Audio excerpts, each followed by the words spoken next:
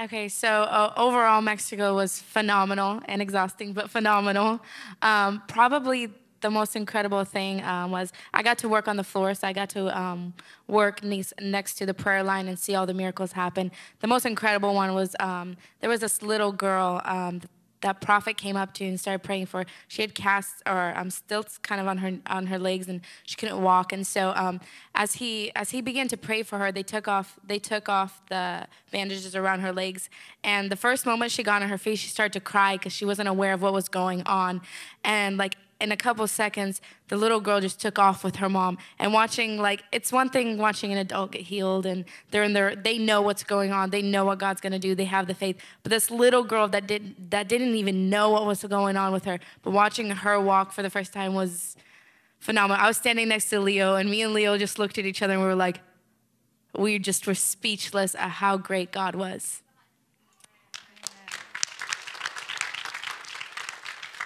I too, I too, there was tons of memories, experiences to take home with us.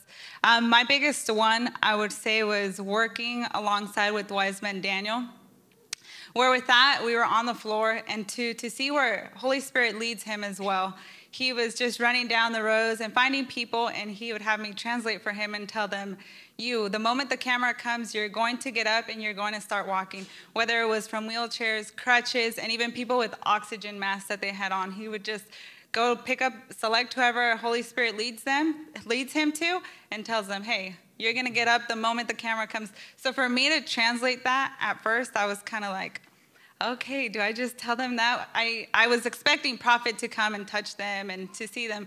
But that the lesson was my biggest lesson there was to see that Holy Spirit is with us, that wherever you're at, you can see healings, deliverance, and just have that faith. And the two simple things that he would tell them and prepare them is say, remember to pray in the name of Jesus and by the blood of God. So it was just um, just those two simple things to build up their faith. So he's like, repeat it, repeat it, repeat it. So to me, that touched me. And the other thing was where he would have people in all kinds of circumstance come up to him and say, Hey, can you have prophet pray for me? Can you have prophet pray for me? And his answer was always like, Prophet, myself, and you, we're all the same people and we can all pray. Our prayer is just as valuable as his, yours, and mine. So I think that was my biggest thing is a prayer in faith.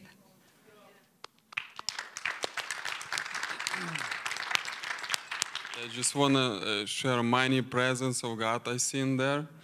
Um, so uh, Bible says where two or more people gathering in the name of Jesus, the God's presence is there. So imagine where 80,000 people gathered in the name of Jesus was the uh, mighty power moves over there. So um, yeah, what I see like um, uh, how the people were manifesting and all around and so the any darkness that was there, it was just couldn't stand. Uh, um, yeah, because of the mighty power of our God, and they just a lot of people um, were laying around and manifesting, and uh, I looked on the other people that were on the side, not in the middle of the stadium, and it was the same thing over there. And um, and um, second thing, the people that were on the wheelchairs. So yeah, that's uh, that's they had big happiness, and I saw people. I was standing close by, and uh, I saw people rising up from the wheelchairs, and they were so happy. I kind of know this because my father is on a wheelchair, so I know how it's happy. Like they could do anything by themselves, and even go and grab the cup of water. So yeah, I was carrying even the wheelchair in the air behind the uh, woman. She was walking ahead of me. So yeah, it was like great things. Praise God.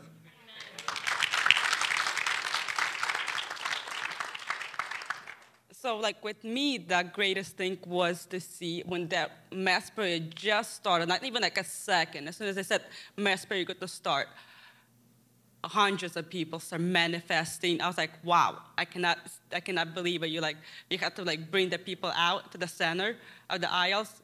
I was like, as soon as you brought one people, person, there's like 10, 15 people more. I was like, I, cannot, I was like, I don't know where to go. And then it was the second thing for me what touched me the most when I was bringing people to give the testimonies. They're like, when they got healed or delivered, their faces were light up. It's like totally different person that was sitting in the prayer line or before they got prayed for.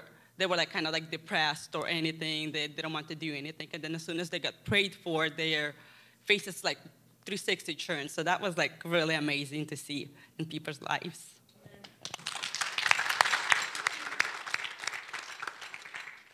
Okay, also, I have a lot of things to share. I was in the group that came uh, a week earlier, so I just got to see how much hard work gets behind the crusade, a big event like that.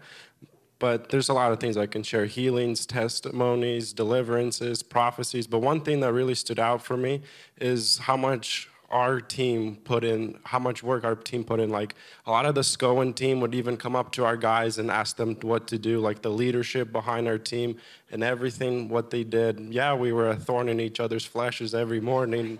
But when it came to the conference, the crusades, we were on top of our game. We knew what we were doing with what little information we had.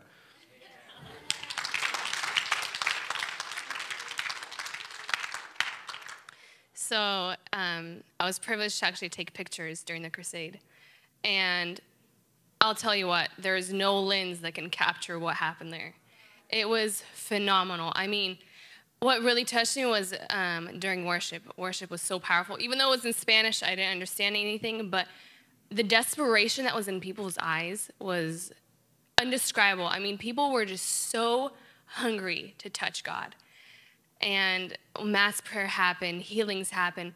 It was I couldn't I couldn't fathom it all. But one thing I took back was that what happened there is going to happen here. Because the God that TB Joshua serves is the same God that we serve. And that that's the one thing that really touched me. I came home and I was so satisfied. My heart was so full that knowing that everything that happened there, the healings, deliverances, the breakthroughs that were happening, is the same thing that we're gonna see here. And that was just that was a blessing to me.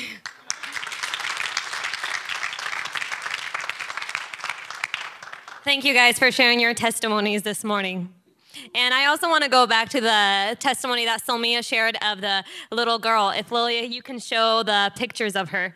So she's right there in her little cast. Um, one of her, that foot right there, was like this much shorter than the other, so she had to wear that cast. And she, she was missing a bone. And then he started praying for her, and they were making her walk. Then afterwards, they took it off, and she was still a little bit confused, not sure what was going on. Can, you can see how shorter her leg was. And then they told her to keep walking and to keep running. And then she just takes off running, and the whole crowd just goes crazy. It was simply incredible. But another thing, like what I took back is people's desperation. We had the, um, our team had like the wristbands that we could go past the ushers when the ushers would let us. And so a lot of people in the crowd would hold on to us and like please i need to see the prophet. Look at my baby.